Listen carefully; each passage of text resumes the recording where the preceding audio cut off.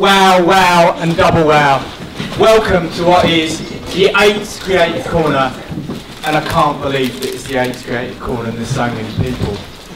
For you that don't know me, my name's Simon Brown, and I'm the founder of uh, a design studio called And And And. Back in April, we started Creative Corner. It was born from our belief that sharing is essential and that sharing inspiration is fundamental to the creative industry and being creative. So that's what we're all here to do.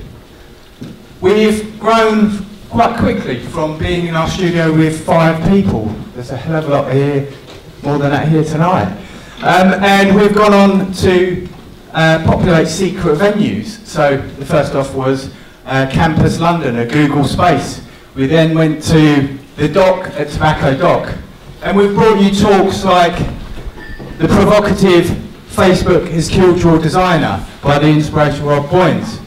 We've brought you brands in the age of reduction in our studio.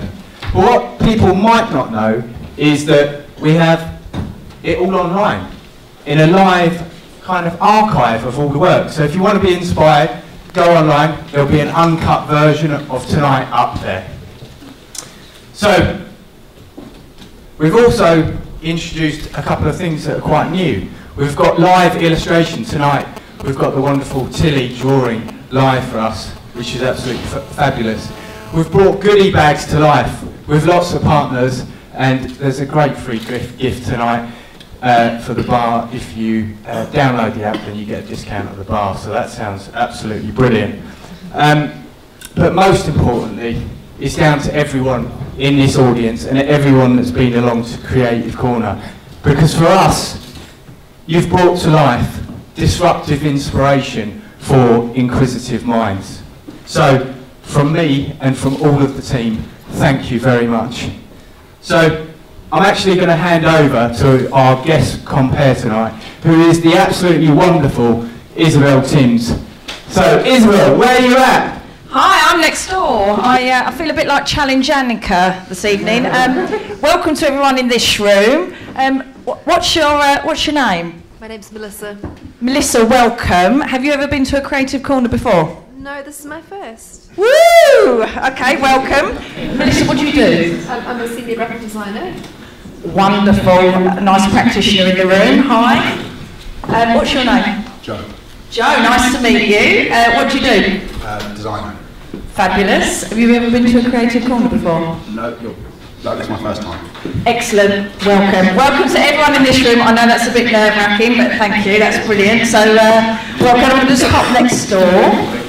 Oh, it is like challenge, Anneka. So, I forgot to mention a couple of things. This is our first time that we're live streaming on Periscope from what is the cultural hub that is the proud archivist. So this is the first one. We'll publish these online, so if you feel free. The other thing is that there is a Wi-Fi code. It is free. TPN restaurants, look it up. If you've got any questions, use the hashtag Creative Corner, and the most important things at and and and LTD, and the most inspirational at Lyall Marcus. So thank you very much. Um, right, I don't know about you guys, I'm really, really looking forward to this evening. Fabulous Marcus Lyall. When you try and think about describing his work, I think it's fair to say it's quite difficult to, uh, to describe. Um, on his website, he describes himself as a um, director and a designer of moving images and live uh, experiences, which I think is a pretty fair analysis of some of the work that he's done. Think giant robots at the Chemical Brothers, think laser shows and moving coffins at Metallica. Um, I think most recently, I know that sounds crazy, but that's exactly what it is. Uh, most recently, um, a collaboration that he uh, worked on called On Your Wavelength. This basically meant that your mind controlled sound and lights. That literally blew my mind. So, can we have a massive, massive uh, creative corner welcome, please, to Marcus Lyall.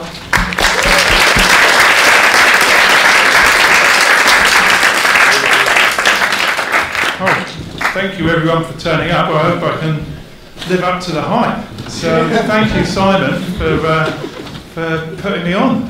It's, uh, so um, we started talking about doing this talk. So I'm going to sit. I'm afraid because I've got dodgy back. Um, but Simon and I started talking about doing this talk and trying to figure out what was it that I could talk about that you guys didn't already know about. And hopefully, some of this, uh, really, what I'm going to share with you is. Um, not necessarily all things that you'll see in the work, but maybe some things that I think I picked up along the way from doing various projects. Um, so um, I guess um, probably some of you have had a look at the website and uh, seen what I do. It's, it's a bit of a strange mixture, really. I started off doing graphic design um, at St Martin's as a course, um, but I got kind of sucked into doing visual shows um, for basically for raves in the 90s and um, sort of, that was a bit more fun. And, um, and rather than sort of growing up and doing something a bit more sensible I seem to have kept doing it. And um, so I seem to have got embroiled in a whole lot of quite strange projects um, really quite fun stuff. And so now I guess what I do is um, use a slide here. I do a mixture of um, creative direction, um, film direction, um, production design, and also I do art projects as well. So, and what I'm trying to do at the moment is really try and balance the two things. So, doing some art projects and some commercial work, and sort of trying to get the two to play together. Um, so um, I'm just going to forward here a bit. Um, so the first thing, this was the first point that sort of came up was um, it's not what you put into it, it's what the audience get out of it. And um, I've done some work in the past for Bon Jovi. Um, now, um, Bon Jovi is um, it's a really interesting job. Basically, what I was asked to do is to do the visuals. So um, all the video content that sits on the LED screens behind the band when they play.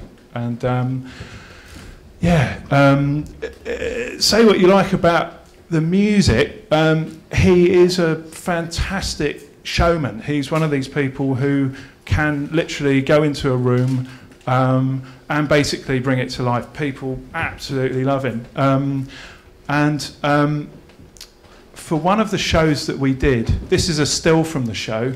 Um, he had a new song which was called um, When We Were Beautiful, and he had a kind of vision for it, which was um, that he wanted to have a clock tower with the hands going backwards, and we were inside the clock tower and then we'd see these hands going back, and there'd be this time lapse shot of New York, and we would sort of go through the hands of the clock, and then we'd be out in in Manhattan, and it was you know this was the sort of uh, this is what the song was all about, and we were like this was sort of all done by email, but back in the studio going yeah. Okay, that's going to be really, really expensive, but that's fine. We're adding markup. Let's let's do it. So we did this piece, and um, this was one of maybe um, 10 pieces that we made for, uh, for that tour. And it took a long time. We had a, a, a motion control shoot where we, um, we uh, built a scale model of um, a clock tower, and we did had a big sort of so we had a film studio. Um, we did this sort of 12-hour sort of time lapse um, shoot to get the camera to move through the, the clock face and all the rest of it. Um, we also had another crew in New York, and uh, they spent uh, four nights um, in a hotel room in Manhattan filming this amazing shot of the, uh, the Manhattan skyline. And uh, we um, did a whole bunch of post production. We put it on as part of, um, part of the show, and, um, and it looked pretty good, actually. And then the next song came on, and um, they did a close up of John Bon Jovi's bum. and that got a bigger audience reaction than all the work that we had slaved on for months and months and months. And um, so going back to my previous slide, that's the thing about live shows is that it really you can spend as much time as you like doing these things, but it's all about how the audience reacts to it. And um, and it was a you know it was a particularly complicated concept and kind of we did it because it's what he wanted, you know, and it looked nice, but not as good as John Bon Jovi's ass. um, which leads me to the next point. How it feels is more important than how it looks. Um, and um, I came across this video the other day. You guys might have, I, I, I don't know, might have already seen this. I'm just going to show you a still. Um, so this video is um, about somebody unboxing Play-Doh. Um, and um, it really is 53 minutes long. and I'm going to blow up the figure I want you to look at, which is that one. And so I think this has got some really sort of profound um, issues for any of us who are making films at the moment, um, because that's a lot of hits. I mean, that's more hits than Taylor Swift and Lady Gaga and Beyonce put together. Um, and it's about Play-Doh. Um, the production value, as you can imagine, is fairly basic. Um, and it scares the hell out of me, to be honest. Um, I think, um, it, yeah, it's sort of. Um, so there's no production value. Um, and um, basically, that clip is really big enough to turn um, Surprise Eggs Unboxing Toys channel into a brand itself. I mean, I, I, I, there's probably people here who understand more about how YouTube hits um, convert to cash, but I can only imagine um, they've probably made more off that than some feature films.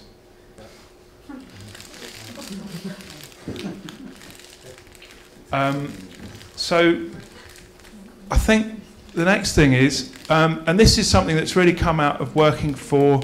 Um, I've done a bit of work for, well, quite a lot of work for Metallica, and uh, which is a fantastic gig. Um, and the first thing that they told me when um, we started working was, um, you've got to keep it simple.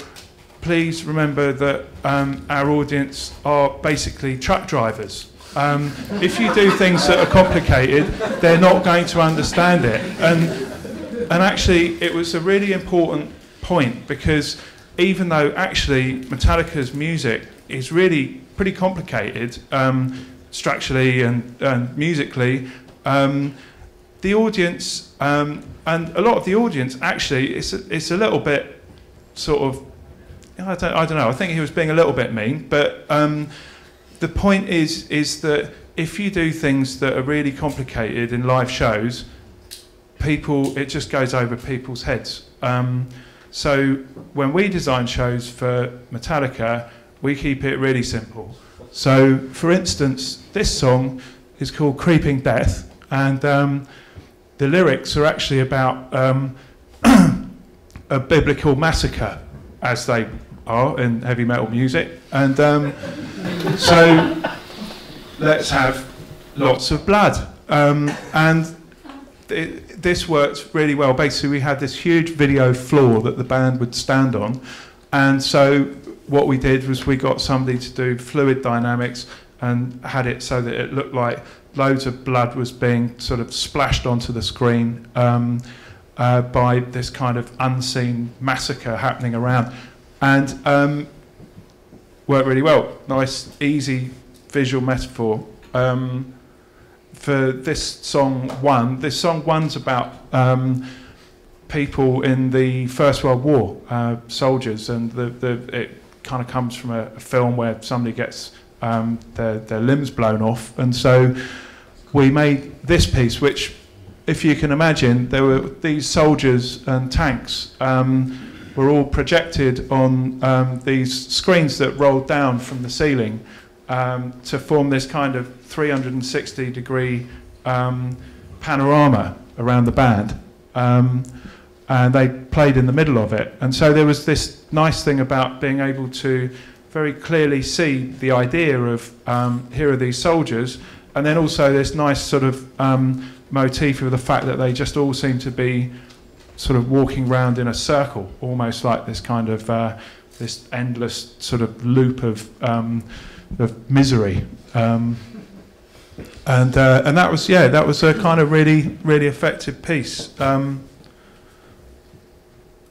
and uh, so yeah, I guess my next point is. Um, I mean, this really comes from um, anyone who's done any sort of um, film script writing or tried to write anything really. Um, it's all about finding the conflict. What's the? Uh, that's what when you're watching a film, effectively you're almost always watching a scene where two different parties want different things, and you're watching which one gets it.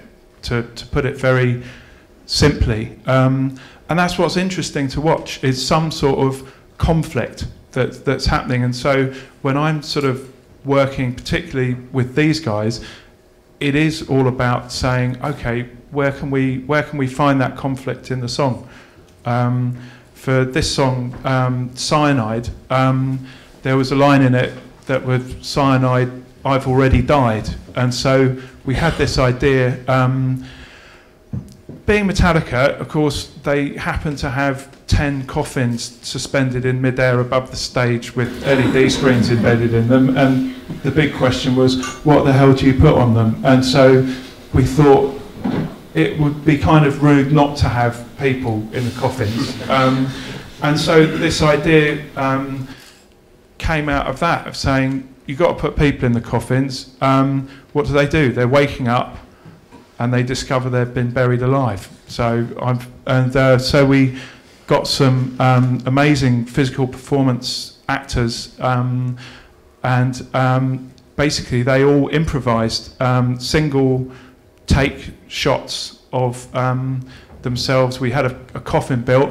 Basically, they all got in in turn and did a single seven-minute performance of um, what it felt like to wake up inside a coffin and discovered that you'd, you'd been buried alive.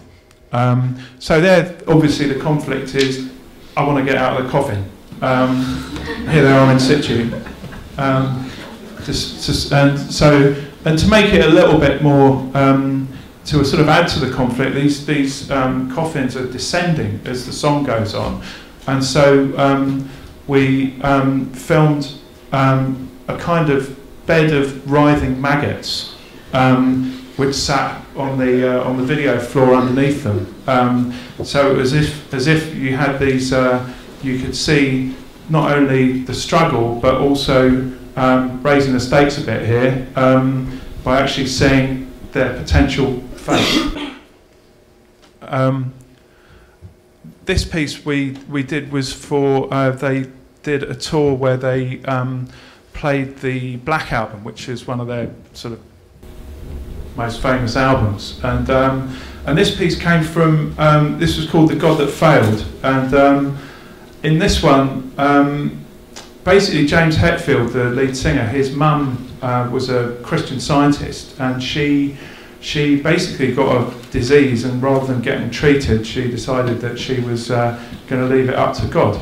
And, um, and she died uh, when he was quite young, and that's kind of, I guess, probably why he writes the songs he does. And um, this song seemed to be very much about this idea of, well, the God that failed. And um, so I, somebody had shown me this picture of um, a place in Lithuania called uh, the Hill of the Crosses. And um, it's a huge uh, monument where um, basically lots of people um, come and place um, crucifixes, and they've just sort of piled up over about 80 years, and it's now a sort of uh, it's a sort of place of pilgrimage. And so, the idea of this song was to it kind of felt I don't know. I mean, I'm not a Christian, so it kind of felt like this huge sort of uh, pile of, uh, of futility. And so I guess what I was trying to do was to, again, sort of show the conflict by having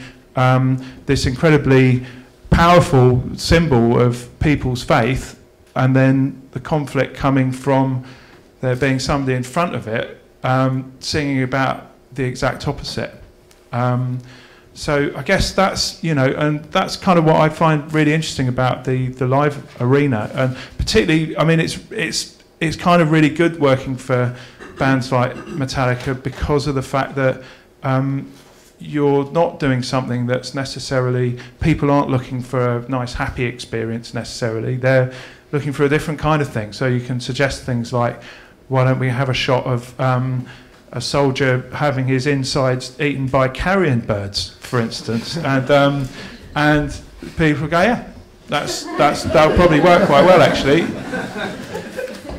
Um, so and I guess the the other thing that's interesting about Metallica, I was just thinking about the idea of branding and um, actually working for Metallica. It was really interesting. You had to really go by their brand guidelines. And um, as somebody said to me, you've got to realise that there are a lot of people walking around who have this tattooed on their bodies. And if it doesn't look like their tattoo, they're not going to be happy. And so, and it is, it's, it's the thing that I guess is quite a responsibility, particularly when you're working with um, bands like that, is the fact that people have got a lot emotionally invested in in those um, in those songs and those bands, and um, you know, it's almost like music, uh, particularly if it's music from your past, is like kind of taking up emotional real estate inside your head. You know, you've got all sorts of memories connected with it, um, and so part of that is trying to um, not sort of crowd that out with your own conception of what it is, is sort of trying to give people a little bit of room. So interpreting, but not necessarily trying to uh, force things on. And you find out very quickly when you're doing that because somebody will just look at you and go, nah. and and that's it. And then it's and then it's like, okay, that's that's fine, that's fine. Um, God, I'm on page two. Only got a few more to go. Um, Oh, the burger van, yes. So this came from a, a, a, a quote, well, not a quote, but basically um, doing festivals. Um, and um, the thing about festivals is the burger van here is basically the opposition. When, when you're at a festival, um, sure, you've got the band on stage and lots of things happening, but there's also all these other stimuli around you. You've got sort of you know, you've got a group of people doing something over there. You've got um, you've got a fairground ride. You've got smells. You you know you're thinking about going to the toilet. The queue's too long. You want a beer. There's all these things going on, and so in that situation, our job is to try and get people to focus on a show um, and to try and take them out of that situation and sort of bring them into this this uh, this kind of theatrical performance, and uh, and um, basically, I have worked with uh, a friend of mine, Adam Smith, um, on the Chemical Brothers show for quite a few years now. Um, he's worked on it for about 20 years, um, and um, and this is you know this is this show basically is designed for festivals, and um, and every time we do a tour with them, um, it's all about keeping it simple. It's all about saying, let's do one thing. There's one idea. We have a big board that we put up, and basically, we end up with um, lots and lots of little post-its and, and things to sort of try and map out the arc of the show. Um, that try to use as, as few words as possible, and we say, okay, well, this song um, is called Horsepower. It's about horse, and um, so it's got a big horse that we, we, we found some, uh, some motion capture data of a horse and we got somebody to, uh, these guys realised studio to, to build this 3D model. Um, and and animated the horse, and it was it was one of those things where the idea happened, and um, we just happened to find this amazing horse data, and it just kind of worked, and it was kind of like the song's called Horsepower. You go a horse. It's sort of I know it sounds a bit, but it really is. You do kind of have to be that simple. Um, this song Swoon um, was um, the lyric was. Um, remember to fall in love and so it became a love story and it was um, and so what we're trying to do is is there's so many things going on there's lights uh, there's the burger van there's the music there's the people dancing around next to you you can't assume that anyone is going to watch a narrative in that situation they're they're just kind of not interested what they want is it's it's basically a lot more like um, inventing scenery really, and and so that people have got um, they're kind of getting what it's all about. You're providing the mood, the emotion. So I'm going to try slipping that in now. I've told you I'm talking about emotion tonight, um, but trying to provide the sort of um, to amplify the feeling of the music, um, but not to play somebody a film. That's not that's not what we're there to do. Um, in terms of creating emotion, um, one of the things I made this piece, which I'm just going to sort of run as I talk. Um, is that playing yet? No, I think I've got a. Yes, there, here we go. So this was an art piece that I made um, in Australia quite a few years ago, and um, basically what we did was to film um, portraits of people in ultra slow motion um, at a thousand frames a second. And the thing that was really interesting about this piece um, is it's all about tension. It's all about watching the moment when it's kind of like, it's coming at her. What's going to happen? It's going to hit her. It's going to hit her. It's going to hit her. And, and so there's this tension that builds up. And then you get the release.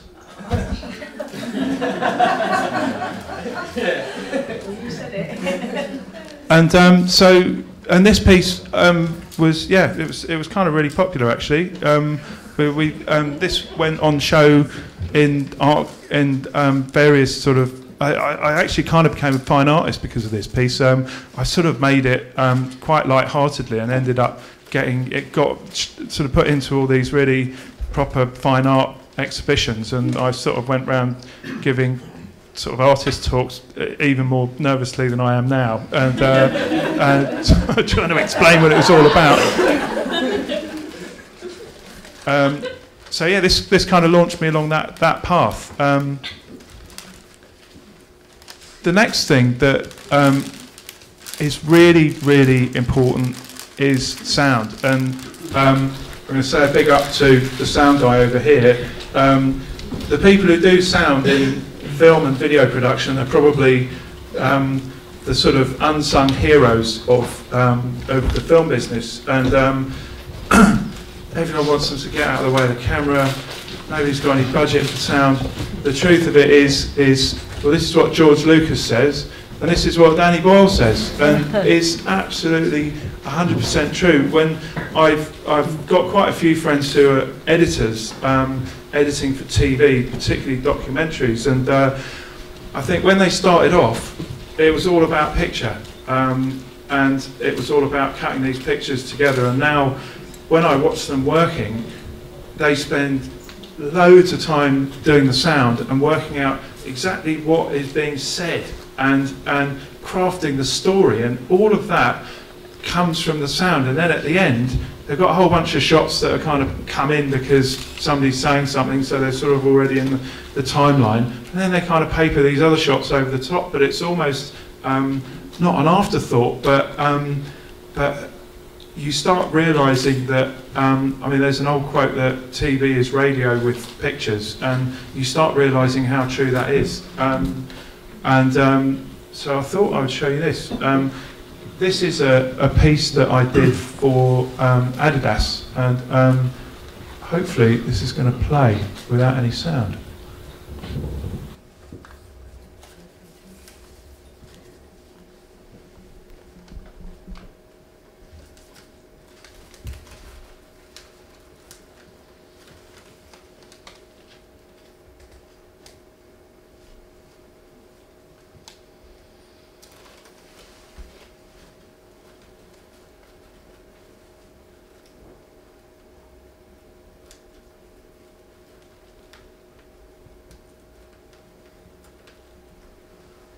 Okay.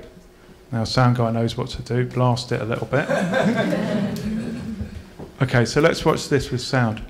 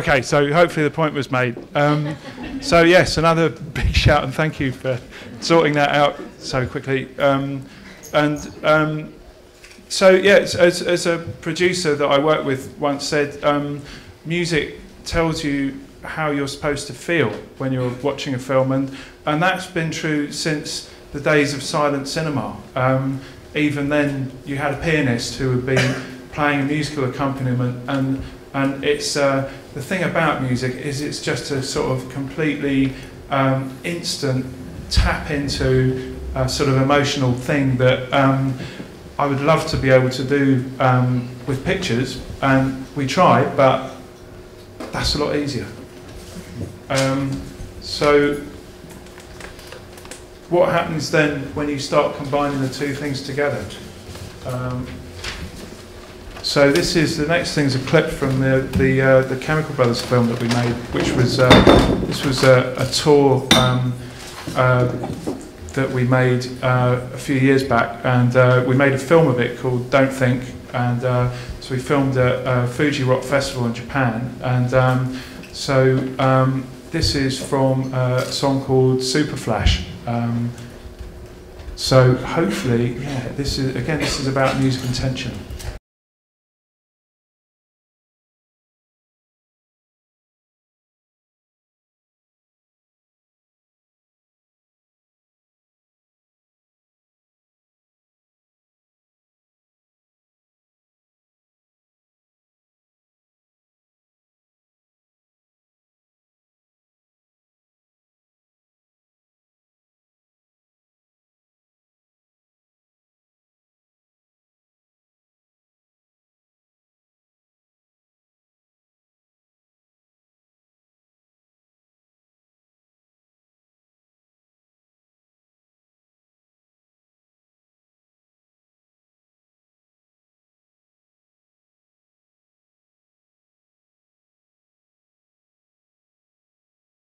So yeah, I mean, obviously, this is this is kind of um, what you go to a Chemical Brothers show for is that um, that thing of tension and release of, of this kind of build up where everything seems to be sort of heading for this one point and you get there and everything sort of seems to be happening at the same time this massive climax and then bosh there's this release and this this moment where you sort of feel sort of a bit like the top of the roller coaster really. And then um, and then it takes you down again and then builds you back up. And that's kind of I mean you know I guess um, this is uh, I, I went to a Skrillex show not that long ago. My god. They do this but sort of every song it seems to happen like I'm saying like a real old get here but it seems to happen every sort of minute and a half and you're just like and you watch these people trying to keep up with it and they're like it's the drop it's the drop. And they all sort of mental for about 30 seconds and everyone's out of breath and you see everyone stop and sort of like and then, and then that's it and then they sort of wait it's coming again. Um,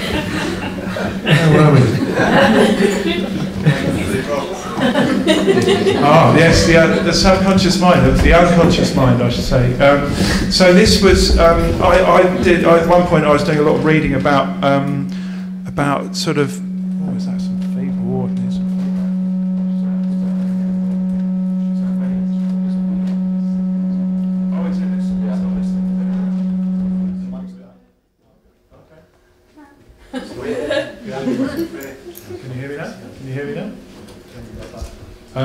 so, um, so the idea that um, I guess this idea, you know, it's the it's the sort of Freudian Jungian idea that there's all the stuff that's happening on top, and then underneath all of that, there's a whole lot of other stuff happening. And um, and um, I guess um, I was reading a, a, a, lot of book, uh, a book by Joseph Campbell um, called Hero of a Thousand Faces, which is a sort of book that a lot of um, script writers read, which is all about storytelling and myth, and it's a little bit sort of it's probably a little bit old hat now, but some, some really interesting ideas about the fact that there are these kind of um, archetypal figures in our in our sort of lurking underneath the surface in our minds. And so I was talking to Adam about this, and um, and um, I was sort of saying when we started off doing visuals um, years and years ago, we used to use slide projectors, and we when we very first started off, I had a whole bunch of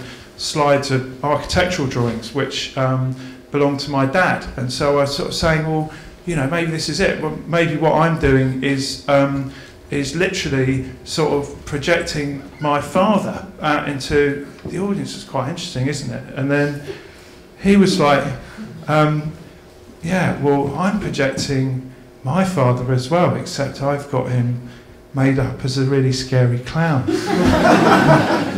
and this is the scary clown from the Chemical Brothers show, and uh, which is Adam's dad. Um, Adam's dad loves doing this role um, when he does it, and it's you know just known as a scary clown. And he says, "You are all my children now," and it's one of the best moments in the show where everyone's kind of yeah,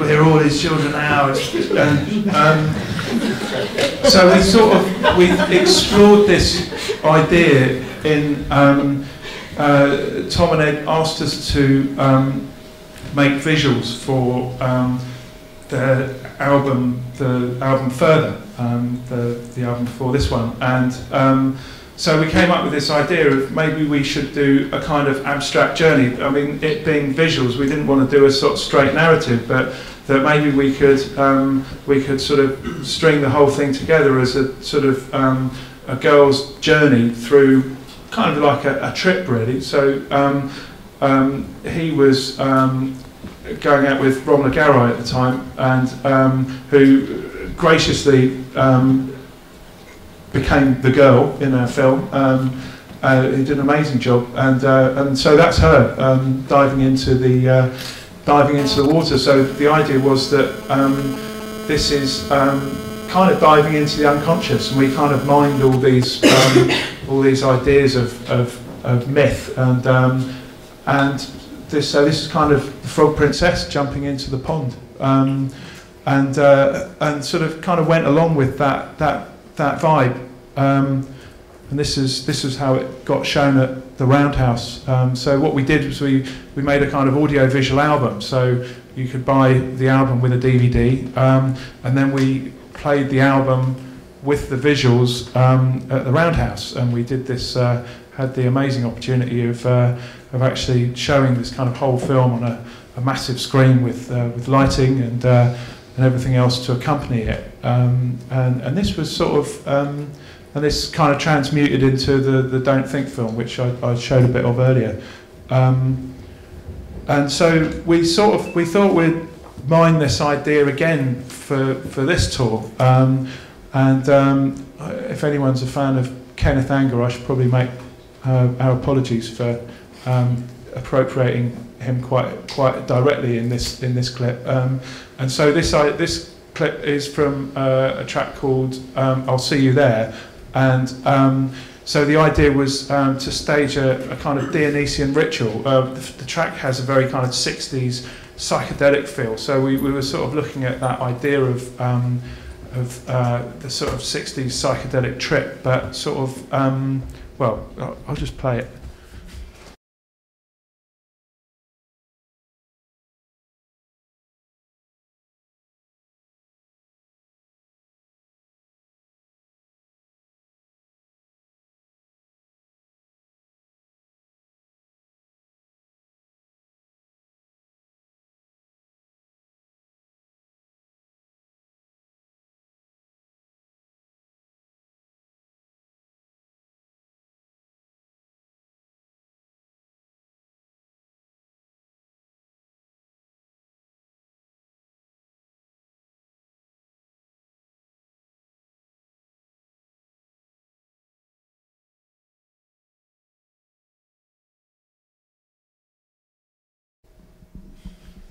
So this comes about two thirds of the way through uh, the set of the uh, the current show, and uh, um, there's um, uh, Adam.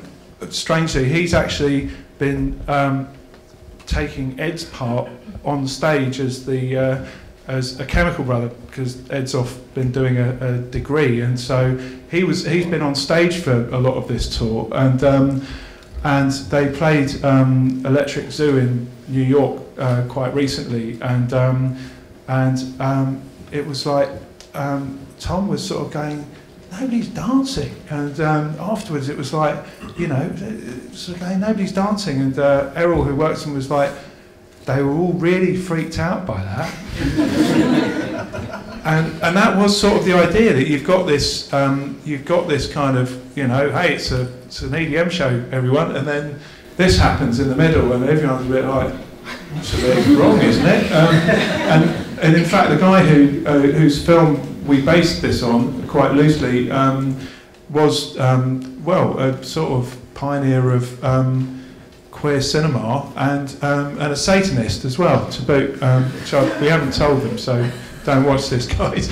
And it does have uh, it, the, I guess it's that thing of the idea of the original film was very much it was all these kind of um, kind of mythical figures in this in this ritual and it sort of reminded me of that idea of like um, the sort of dance or sort of conflicts between these kind of unconscious characters inside your head. So it, I guess what I'm saying is that we've found a, a lot of power from using stuff that isn't about stuff on the surface. It's that stuff that's uh, that's lurking underneath. Um, and uh, yeah, so this talk to the inner child. Well, I guess yeah. The thing about the emotional, um, the thing about emotion is that really, it's a very much uh, in sort of psychological terms. It is about um, the sort of child understanding of things. It's not about um, a sort of adult intellectual approach to things. It's about how you react, that I guess what you call, what some people would call the id, um, the inner child, the, uh, the, that sort of uh, child inside you that, um, that um, isn't interested in how it works there, um, is interested in how it works here. And um, which kind of, kind of goes back to the unboxing video. You know, it's the ugliest video imaginable, but what it gives a child, especially, is that feeling of opening up a present on Christmas Day, what that feels like. And um, I think that's why it's got 650 million hits, is because it's, it's a feeling, isn't it? And what better feeling than that feeling? Of, and somehow these idiots have captured it and probably made a fortune, probably more than we'll all ever make in our lifetime. Um, so I guess my point here is that um, talking to the inner child is a good thing. Um, we made this piece to launch a, uh, a Nokia phone, and uh, we got the amazing opportunity to um, take over a, a square in London. And it was a bit like, I guess, because I grew up with sort of warehouse parties and sort of uh, doing things in abandoned buildings and that kind of very urban thing that London is sort of stopping being really now. And uh, and so we um, we were asked to come up with a follow up to a, a really epic um, projection job where Nokia sort of projected on Millbank Tower and this massive thing happened. Um, and so my thing was, well, maybe we can turn somewhere quite normal into somewhere quite amazing. And so um, uh, we had this idea of maybe we could make this square come to life. And uh, they, um, so they got um, Deadmau5 back, and we made this. I'll show you a really short clip from it.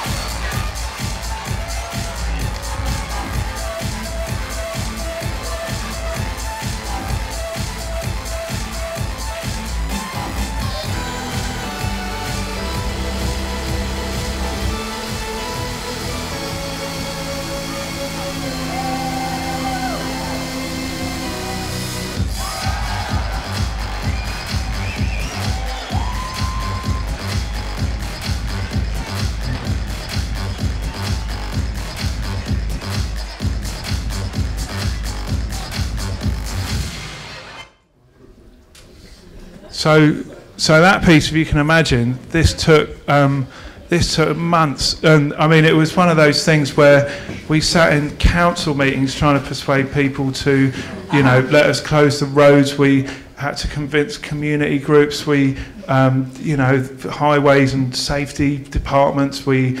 Um, we had to close the square for a week to, to do it. It was it was kind of this enormous budget and um, and um, it was lots and lots of fun. I learned lots about um, doing shows, most of it because some things really didn't work, um, but enough of it did work to make it really quite quite popular.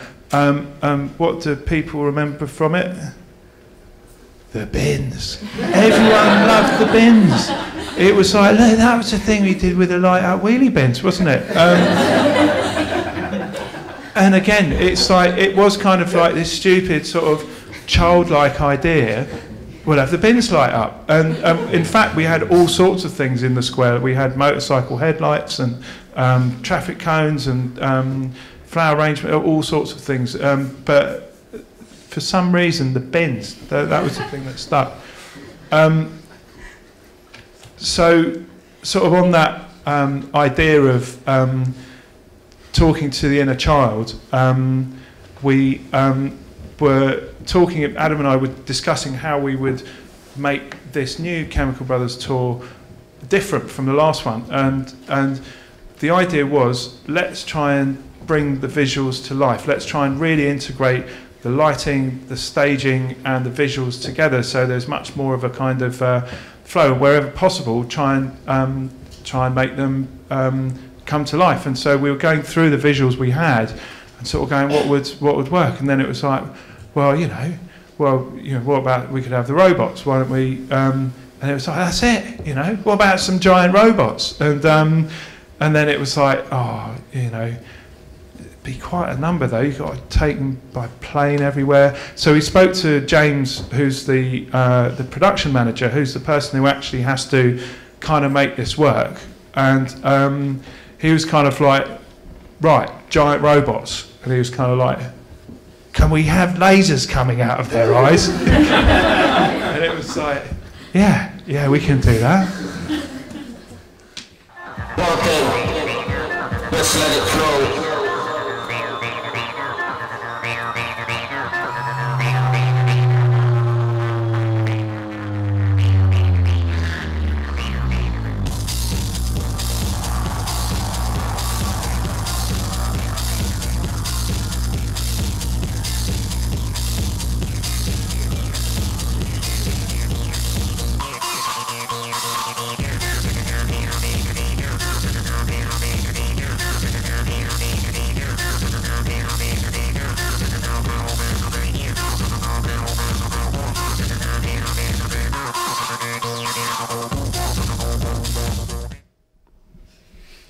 Think you know, and again, what you get from that is this sort of at that moment in the show, you, you if you've been to a few Chemical Brothers shows, you get that there's going to be lots of visuals and sort of you know lighting and all the rest of it, and then this happens, and it feels like a, it's it sort of transforms the the situation because I guess part of it is it's a bit like, wow, they've really been bothered to bring those bloody things with them, and and, and people love them. And I can remember when the um, and you know they took ages to to you know if you can imagine you know there's a guy in Birmingham who builds all of sort of Iron Maiden stuff, and he was the guy who who Dave um, at Specials who who um, who built them for us. Um, you know, there's like you know getting the lasers right and the video screens, you know, huge like months of prep to make this work. Um, and they turned up at um, production rehearsals, which happen basically. I think we were doing them at uh, Elstree Film Studios, and um, and there's all the local crew who sort of um, unload everything and put it up. And when they arrived, it was like all work stopped, um, and everyone was like, "Robots, yeah!" and and literally, wherever um, wherever they turn up at festivals, um, people, uh, all the local crew are just like everyone's posing and taking pictures, and and um, so it felt like yes, we got this right. We've, so I was quite pleased with that. Um, so um, yeah, there's so it, it was a real thing of sort of going. This is and this is I guess it's a it's almost a kind of unique opportunity with the with the Chemical Brothers because they um, they're in this situation where they want stuff like this. You know, not every client um, wants huge robots, and um, and so it feels like an enormous privilege to be in a position where you can actually suggest stuff quite that stupid, and everyone go, yeah, we'll spend a lot of money on that. The people are going to love it, and um, so um, I thought I would just moving on from that. Um, uh, this idea of um, letting the audience complete the circle, and, and what I mean by that, um, well, maybe I'll show you this clip. That might be a good, a good way of doing it.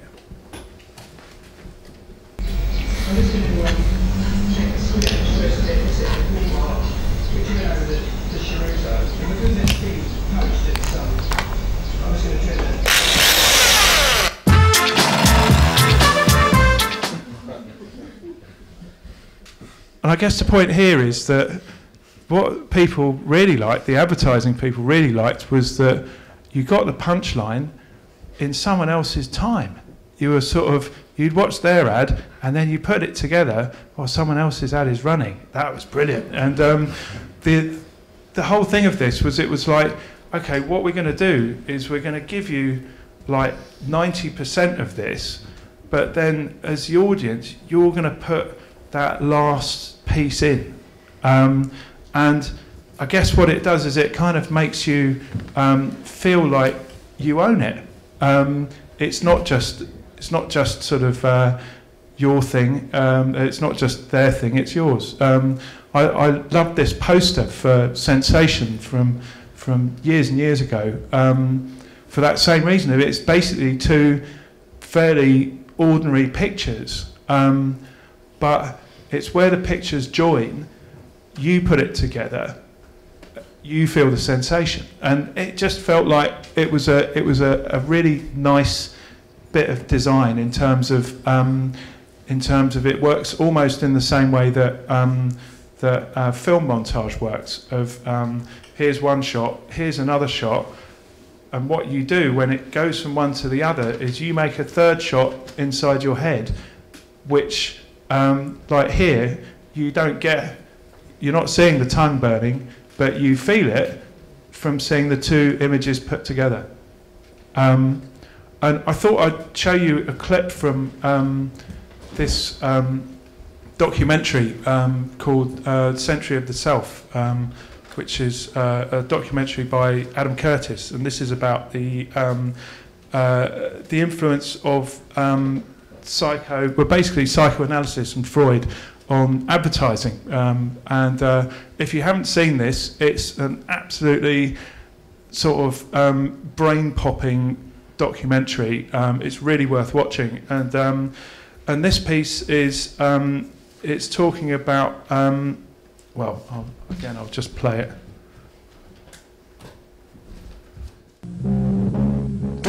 Breakthrough came with a focus group study he did for Betty Crocker Foods. Like many food manufacturers in the early 50s, they had invented a new range of instant convenience foods.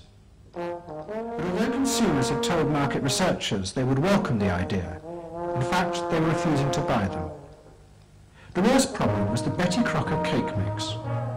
Dichter did a series of focus groups where housewives free associated about the cake mix. He concluded that they felt unconscious guilt at the new image being promoted of ease and convenience. In other words, he understood that the barrier to the consumption of the product was the housewife's feeling of guilt about using it. They basically, on one hand, wanted to make it easy for themselves, but they felt guilty about it. So what you've got to do in those circumstances is remove the barrier, the barrier being guilt. The way you do that is to give the housewife a greater sense of participation And how do you do that? by adding an egg.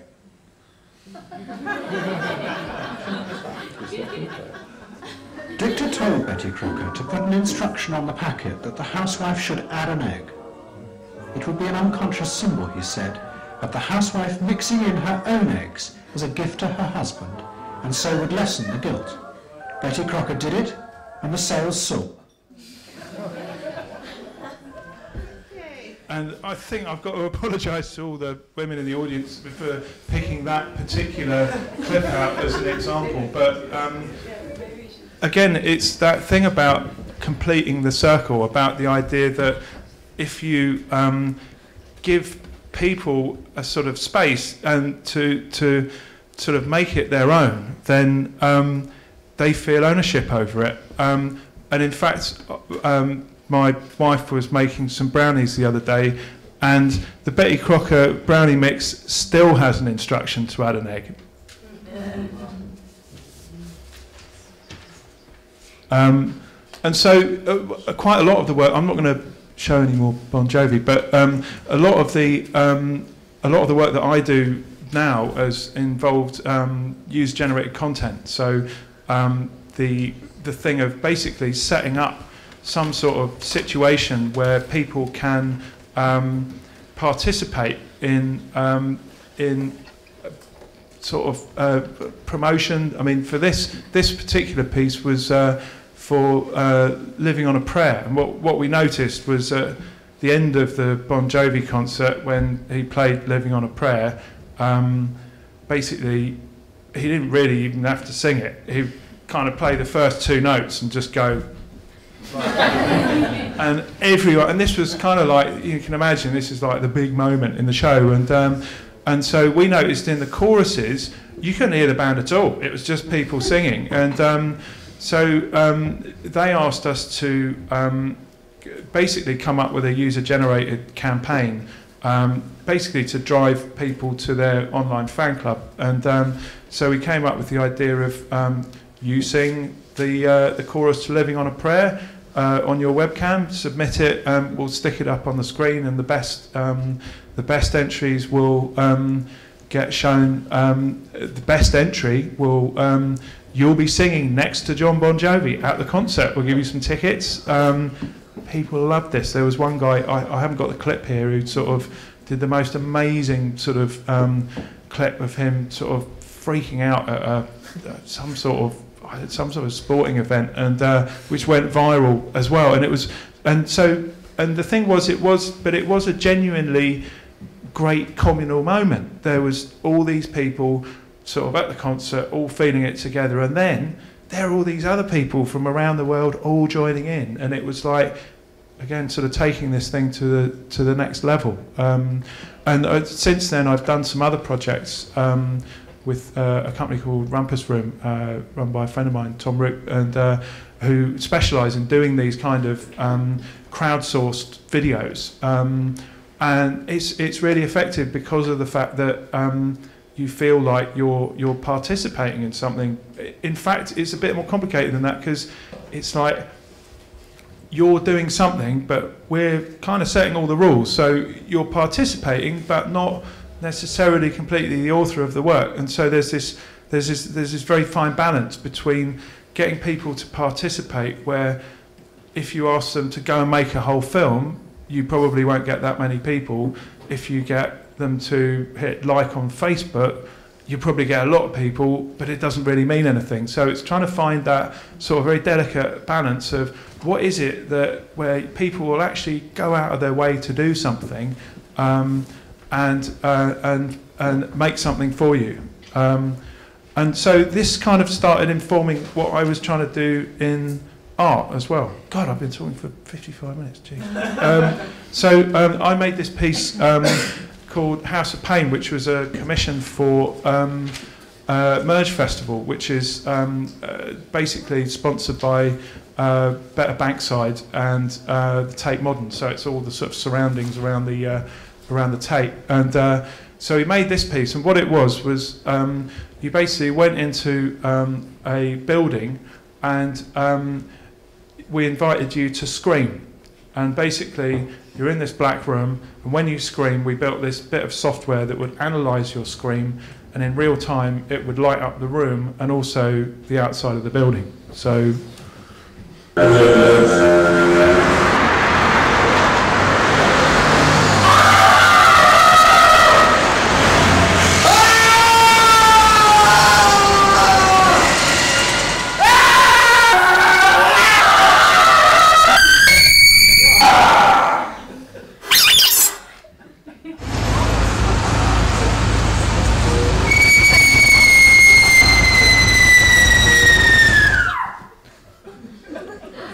So this piece, we had 4,000 people come in and scream over about a month. Um, we had some people who came back and screamed every day, and well, I, you're, you're providing a really useful sort of social function here. Um, and um, and it was it was really popular. It was like um, it got a lot of um, and people when I was I was back there doing another piece which I'll also show you. Um, recently, oh yeah yeah the screaming yeah great great and again it was that so it was that sort of thing of um, catharsis, this feeling of being able to to release, but also the idea that it's on such a big scale. It's kind of all about amplifying, and I, I guess that's what people are really into at the moment is this idea of being able to amplify themselves. And you know, we see it obviously all the time in social media. And again, it's that thing of trying to find the right balance where. Um, a scream is kind of it's your scream, but it's also not too dissimilar from other people's screams. It's not something that's easy to get wrong. Um, so people felt actually quite comfortable doing it. And once they'd seen that other people were doing it, this social proof effect come kind of kicks in, which is like the, you know, if you if of your friends jumps off a cliff, would you do it? And the answer seems to be yes, probably. Um, and and people, as soon as they saw that it was, it's like, all right, I'll have a go at that. Looks all right. And um, so um, yeah, so this was yeah, kind of really really popular, and and again, sort of um, taught me a lot about. Um, I guess what people are prepared to do, it's kind of risk and reward, I guess. Um, so yeah, this um, valuing emotional honesty. Well, I mean, I guess my thing here is that if you look at what um, what people um, people who are making a lot of money these days, think about songwriters and actors and um, to the very few who are um, politicians, um, emotionally honest. Those people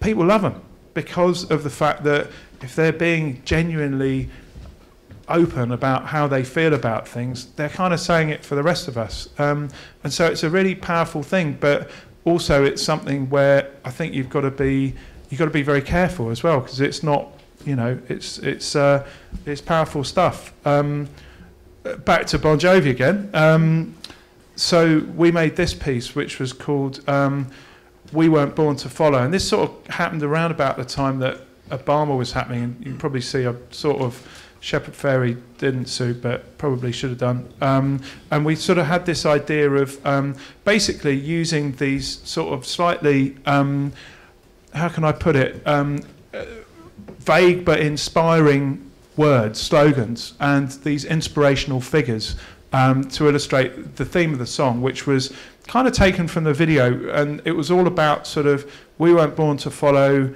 I can't remember the lyrics, but uh, something along the lines of um, you got to stand up for what you believe. You've got to sort of you know hold strong. So there was images of um, of uh, Muhammad Ali, basically inspirational people. Um, and um, it was the opening song in the show, and it was yeah, everyone sort of had this like yeah, you got to stand up, and I think standing up's a big thing in Bon Jovi things. Um, he likes making people stand up. So um, I saw this recently, um, and um, so yeah, as you can probably read, we did actually use an image of Dalai Lama because we are kind of coming up, you know, riffing. Who are, who can you think of who are like sort of figures um, with that you can't mess about with? That it's like you know, you put them up there. Who's going to argue with Desmond Tutu? You can't argue with Desmond Tutu, can you? He's um, but there's actually surprisingly few people um, who, who kind of are these kind of genuine heroes who just don't have anything wrong with them. And in fact, um, in you'll see um, over next to that straight thing, there's a picture of Lance Armstrong, who obviously had to come out when uh, he was discovered for the drugs cheating. Um, and um, so Bon Jovi toured. We're going to tour China, and the Chinese authorities saw this picture of the Dalai Lama and were like, well, you're not bloody touring here, mate. Um, and almost, you kind of think, well, quite rightly, because it's like, here you've got John Bon Jovi talking about this stuff, and we had shots of, you know, the guy standing in front of the tank in Tiananmen Square um, and saying, this is what I believe in. And then you go and tour China who are obviously the two things aren't really compatible. And for me, it was kind of I, my first thought was, you know, um, well, the Chinese government aren't necessarily wrong on this one. Um, you know, if you are going to say this is what it's all about, you've got to kind of stick to your guns. Um, so the next thing was kind of going back to that thing of um, of um, learning from the art installations is that um, if you've got an audience, generally they really want to, um, they're there to, like a film, to suspend disbelief. They don't want you to fail.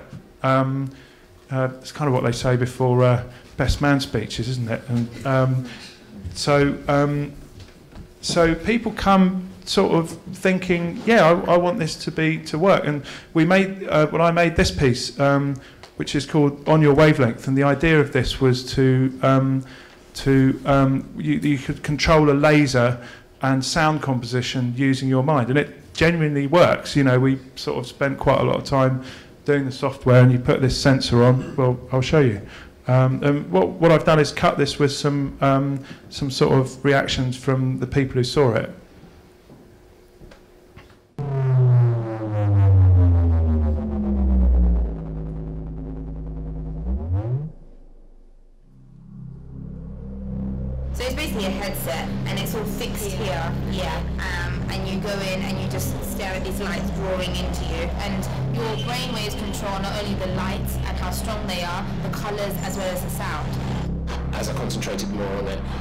See that that was actually changing what was happening.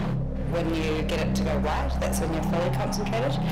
We, we experiment thinking, okay, I'm going to go distracted and then focused and then distracted and then focused and see how quickly it can catch up with you. Or, you know, I'm going to try and get really angry and see if it'll go super bright, stuff like that. I think it's really individual for everyone. Try to imagine myself walking in the forest.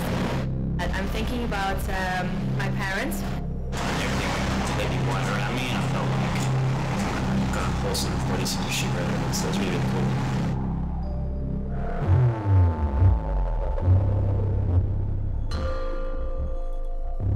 I was really impressed how different it is actually being in it than when you're watching it from afar, because it like expands the whole visual field, so it's much more like immersive.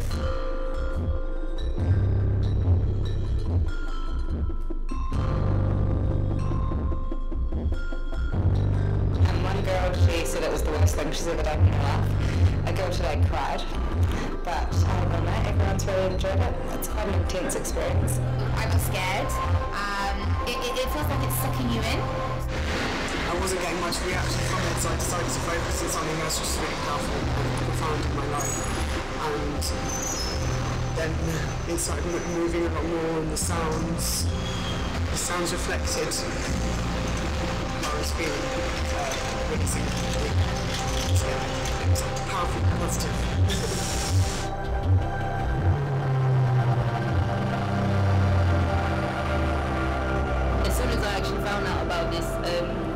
installation, I was like, oh my god, I need to do this. I just, I don't think I've ever, ever done anything quite like it.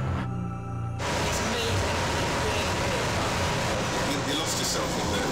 Uh, you just blanked your mind and just went with it. It's definitely the best thing I've seen this year. Amazing. I love the colours changing and the line sizes getting thicker and thinner. It's really magical. It's, I'm a bit lost for words.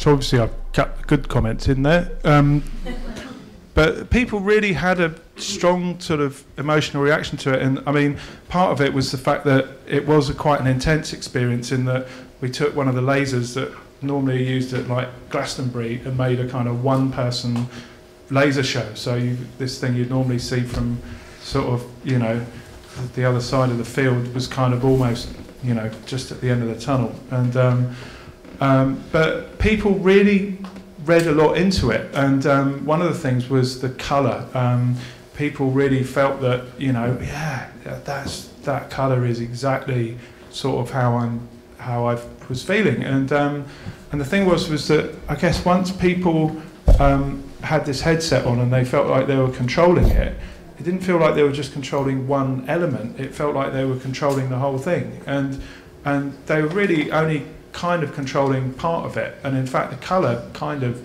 we did a bit of scanning, but um, their sort of brainwaves to assign them something. It wasn't, wasn't scientific at all. And um, and but once people started saying, you know, yeah, that was it was kind of almost like it wasn't just that you didn't want to not tell them. They wouldn't even believe you. They would go, no, no, it was definitely red. I was definitely feeling the red. And and and you know, with the instruction that we gave people was to um, was to concentrate on one thing. Um, and um, and that's how it works. It basically works on concentration, just sort of um, trying to think of one sort of and and so I was like I thought of I was finding thinking of C3PO worked really well for some reason. Somebody else said Dobby from um, Harry Potter was kind of doing it, and then and one guy, you know, one of the uh, the people looking after it, sort of said, "Oh, you know, so what were you thinking of to this guy?" And he said, "I was thinking about my dead wife."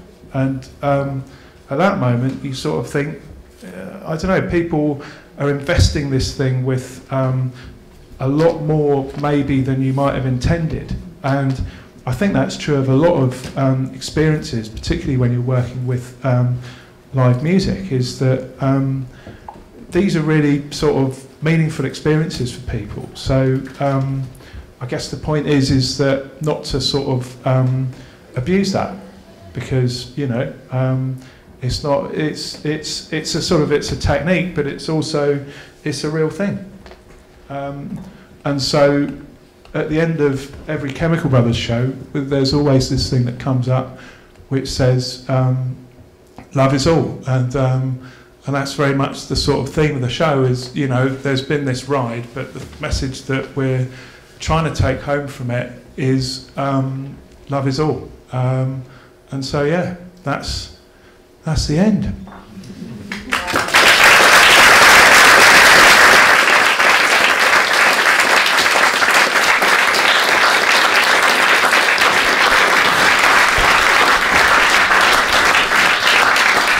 Well, thank you, thank you very much. Um, I know there's people said they've never seen anything like it. I, I haven't heard anything like that in quite a while, so thank you very, very much, Marcus. That's all. Um, wow, yeah. Thank you, Thank you. Can, can I just check next door? Are you still with us? Yay! Excellent. Thank you very much. You're, you're probably a bit cooler than we are in here. Is everyone nice and sweaty? Yeah, great. This this is a part of the evening uh, where Well, it's over to you guys. Um, I don't know about you. Uh, it's really quite inspiring what Marcus was talking about. I certainly have quite a few questions, but I, I suspect uh, you do too. So, uh, anyone familiar with this?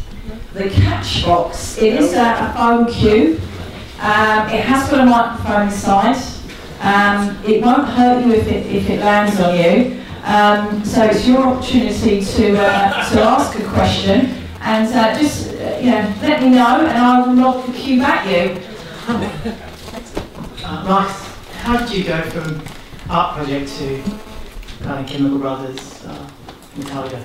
Was the, the leap? Um, well, it's not really. Um, it's no real sort How, of. how, how did you get the first big gig? You've obviously got lots of big gigs now, but Uh, we're getting the first big gig Yeah. um, was, I guess, I was working um, doing uh, was probably for U2. That was my first big show, kind of quite a big show, but doing quite a small part on it. And um, again, it kind of came from doing these um, doing these sort of projection shows at raves. And you know, at the time, um, they the people um, who designed U2 show would go out and find, you know, oh, I've got to find all these really hot young sort of arty types. And um, what U2 do and still kind of do now is they, they just get loads of people to make kind of cool stuff and then it's really heavily curated.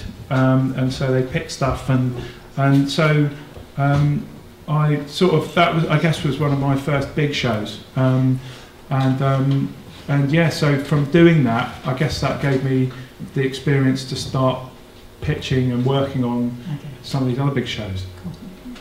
Anyone else for the Catchbox? Yeah, at the back. Can you uh, lob it behind you? Yes, there you go. Brilliant.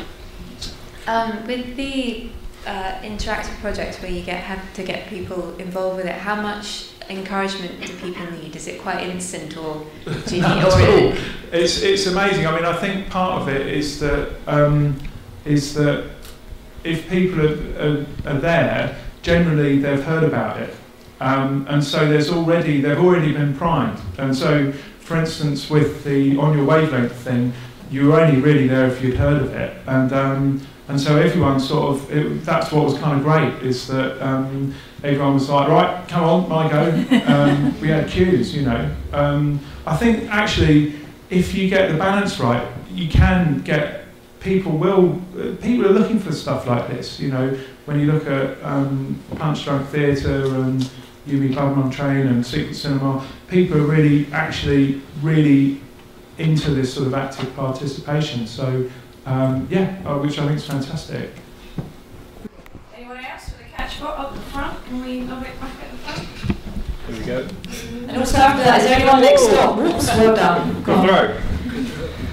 Hi Marcus, uh, amazing talk. Um, I'm a massive metalhead myself, so Metallica stuff. I was actually one of, at one of those gigs. Right. With the coffins. Absolutely amazing. Um, so yeah, I guess my question was actually the same question as the guy behind me, but I've got a different question now. Do you actually um, talk to the bands themselves? Do you show any of the work before it actually go before they actually get on stage? So did you talk to Metallica themselves, or is it all through like the production director? It kind of depends. I mean, um, with Metallica, as you can imagine, it's kind of um, it's fairly mediated. Um, so they've got a, a production designer that um, we present. In, in fact, that thing was, I mean, that was the most bonkers show I've, I've Yeah. worked on. I think. That's the bonkers show I've ever seen. It, it was, and, and basically with that, I mean, it's, it seems to be on- like on a mission to burn cash. They sort of, um, they said, right, come up with some ideas, and so we, we put a kind of, you know, like a deck together of all these different ideas, and um, and showed it to them, and sent it off, and didn't hear anything for for months, um, or for a month or something, and then we were like, so uh, do you want us to do any of these ideas? And then the call was like, oh yeah, yeah, yeah, no, we want you to do that, yeah, yeah. And we were like, well, which ideas do you want? And they're like, well, I'll just make all of them. and it was like, really? The only way, you might as well. And, um, and it was like, that's going to cost a lot of money. And they were like, that's all right. And, um, and so we started, we were like, we put the budget together, it was absolutely absurd. And we um, then started making it. And then we got a call saying, okay, stop what you're doing. And we were like, eh, you mean like all the product? Yeah, yeah, yeah. Just stop it right now. We're going to put it on hold. And uh, so then um, Dear. We were like, that's going to cost a lot of money. That's fine. Just tell us how much it is. Then we waited for a year, and then they started up again, and then we made it. And um, and um, and there is some contact, um, but uh, to be honest, they look at it, um, and if they don't like stuff, they'll tell you. But at the same time, a lot of this stuff, um, what I probably should have said is, is, is these shows. I mean, you get to them and you sort of think, yeah, that's going to work, and then you get there and it's uh, like the Bon Jovi thing. You're like, it doesn't work. It just doesn't work. Mm. You look at it and you, you imagine it's going to work. And obviously, we get hired because a lot of it does work, but there's some things that you think would be brilliant. It's just like, no. And nobody has a problem with just going. Nobody has a go. They just go, just, just, just a bit of shit, isn't it? So let's get rid of it and do something else. And like we made this amazing piece with like these girls sort of um, swimming underwater, another sort of underwater piece, you know, filmed in Pinewood, cost sort of tens of thousands. Um, and uh, and for what was the song for uh, Fade to Black, and it was like Oh, this yeah. sort of idea of, uh, of drowning, and um, and so we had this piece beautifully filmed, and then it was like, oh yeah, that's when the statue falls down, and um, so you won't see anything. So there's bits of statue all over the stage Yeah, yeah, obscure the that obscure the picture. So it was just kind of like, well, it's good, but it's not as good as the statue falling over. So Well, it's quite iconic, isn't it, the statue falling over? I didn't know that. yes, Again, like the simple things, like what you were saying before, it's the simple things that you don't realise, Yeah, you know. yeah. And all of these things have huge resonance for, if you're a metalhead, you go, it's the fucking statue, Exactly. and that's what's important. Yeah. Um, sorry. Do, anyone next door have a question? I'm conscious that I can't, I can't throw next door. Oh, I'm sure you can. Any questions next door? No. No, there's one at the back there. You have to lob it back. Next door, if you do have a question, please shout loudly. That was a bad throw. Sorry. um, well, first of all, I think. Uh, first of all, I think um, the, the sort of duration of that applause kind of lets you know how inspiration um, that whole talk was. Usually we're going like three seconds. Like, okay. but um, and also whoever's doing the and and and um, Twitter account, I see whoever that is. Yeah, lots of people. Yeah. okay.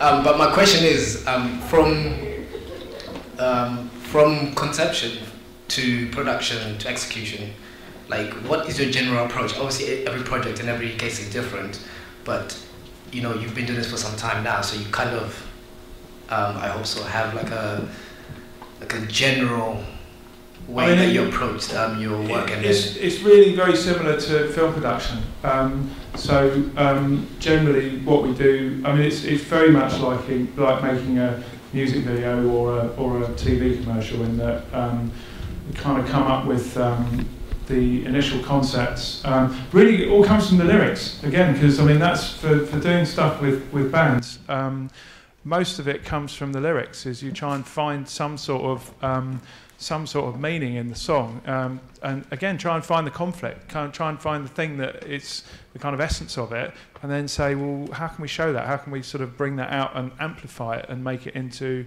um, something? And then we kick those ideas around a lot, and then um, and then come up with some pictures, and um, and then it kind of kind of goes into normal film production mode of storyboards and uh, mood boards and that sort of thing, um, and then um, people go, yeah, okay, that, that idea works, we like that.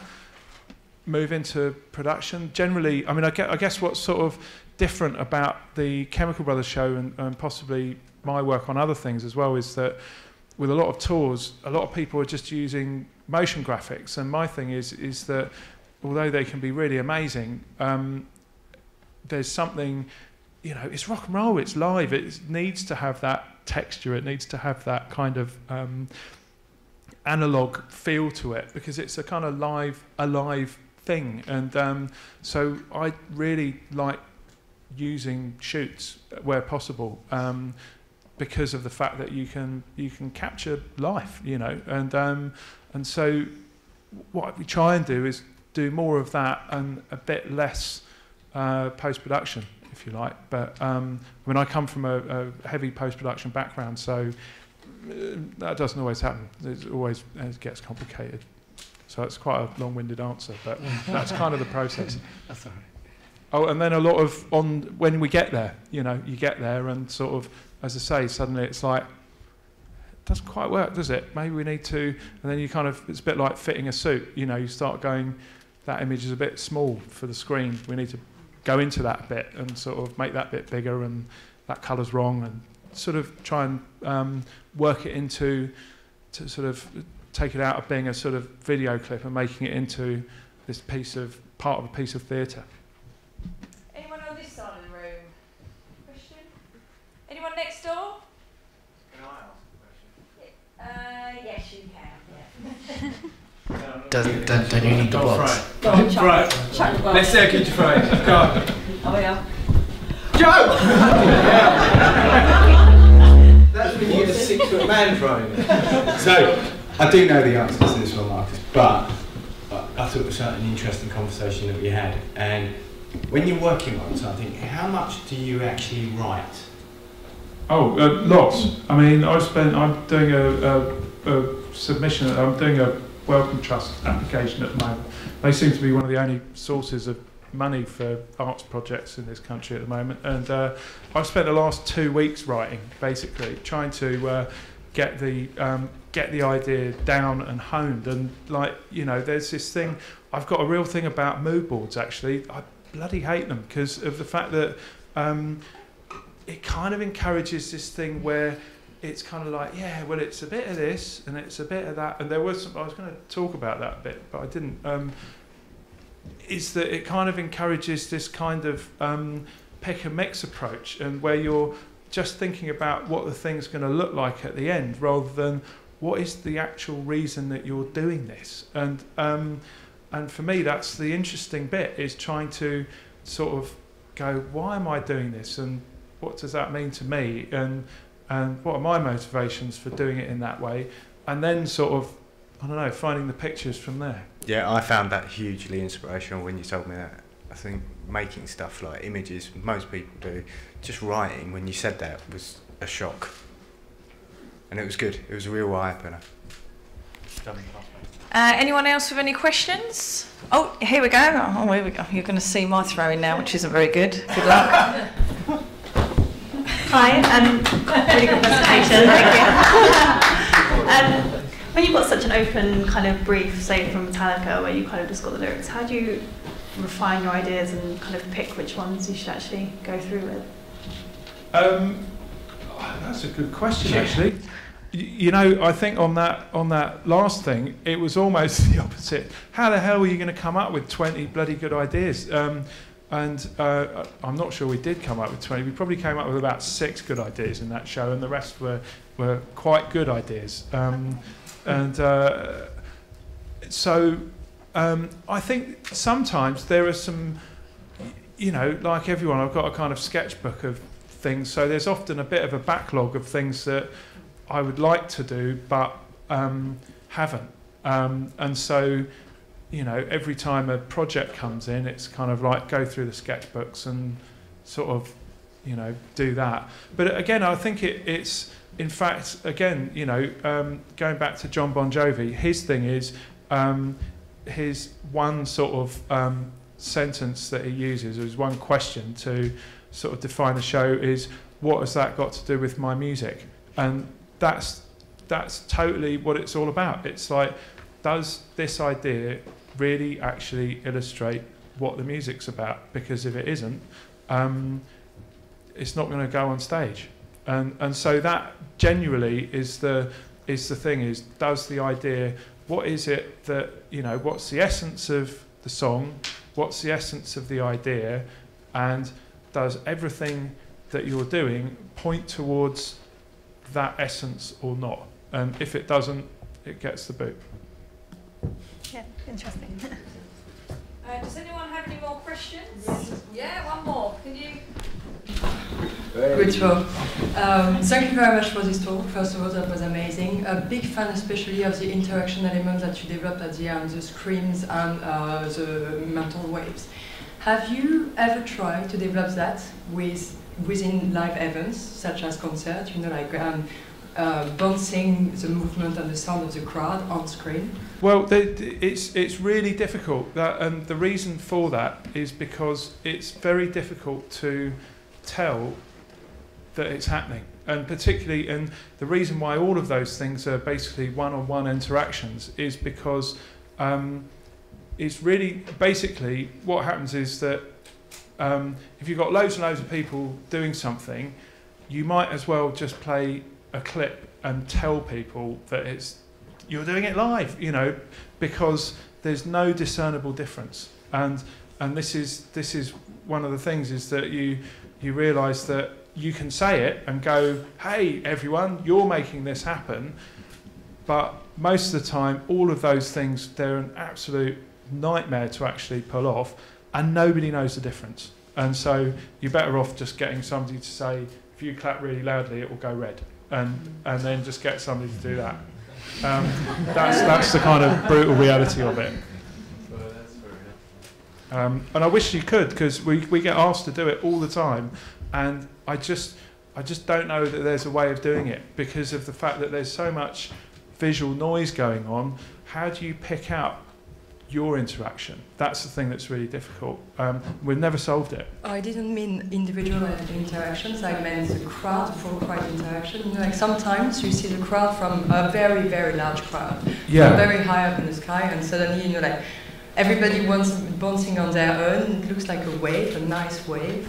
Can you not make anything with that? Well, there there is there's some nice you know there's like um I think you know Coldplay did it with the the wristbands that sort of idea of actually um, that um, at a certain point in the song everyone was where it was given a wristband. I think they people bought them in fact, and then you know suddenly all the wristbands lit up and everyone did this and there was and it was great. It was a fantastic idea because what happened was at that moment everyone was linked everyone had their one, they watched everyone else's light up, and this thing happened all around them. So it kind of shifted the focus of the uh, of the show from being there to being here, and sort of seeing all these people around you, sort of wow, look, and that little again childlike wonder oh look, it's lit up and it's doing pretty colours, and and then this big communal thing about everyone sort of. Um, everyone putting their hands up and having this shared experience and and it was a really really powerful idea and um, and a really good idea. And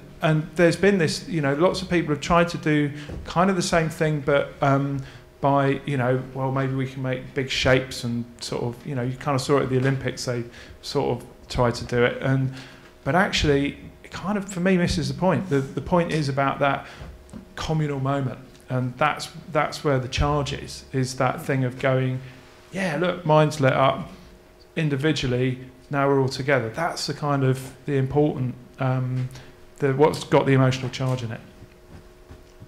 Thank you. Sure. Thanks.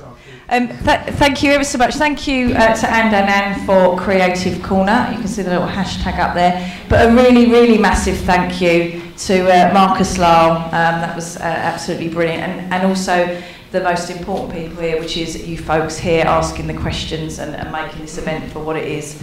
Um, thank you to Tilly at the back. I don't know if you can see, she's done a sterling job of illustrating tonight. Give us a wave, Tilly. Yeah.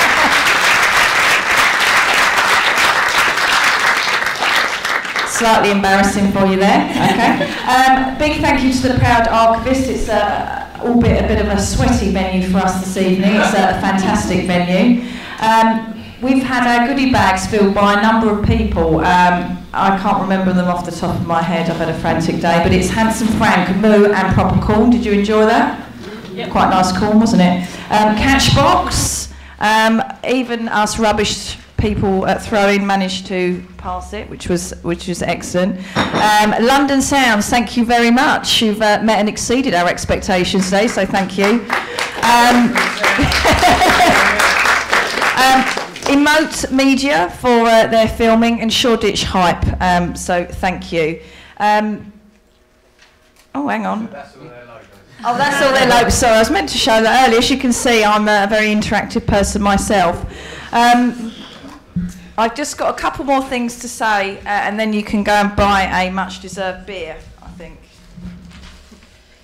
Um, basically, this conversation doesn't stop here. This is going to continue. Um, there's big plans for Creative Corner in 2016. It's going to be more disruptive, more themes that are, you know, current, um, and they're going to publish more.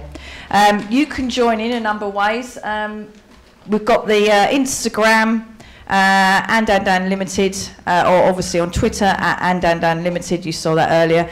If you go to the uh, website for andandans.co.uk, you can sign up to a newsletter, which is quite nice.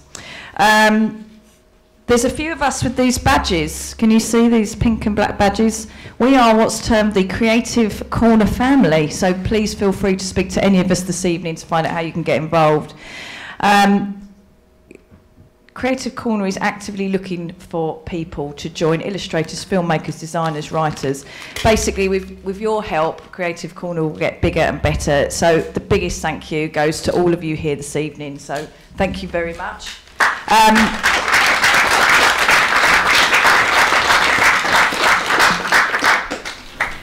if you want a beer, the bar is open. That's where we're going to be. So hopefully we can get to speak to as many of you as possible this evening. And you know what? There's a load of people here. Maybe we should all try and talk to someone we don't know uh, and make some really great creative con- connections. So thank you very much.